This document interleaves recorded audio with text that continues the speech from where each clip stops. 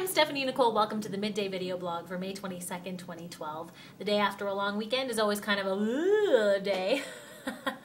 Maybe you just need a bit of a boost. You've had a busy weekend or uh, you've had a lonely weekend.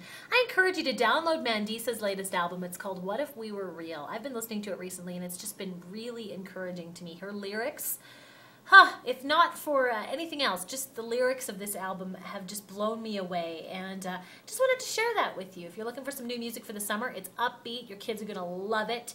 Uh, and uh, you mean you'll love it too. It's just a great way to start a day. So check it out. It's called What If We Were Real.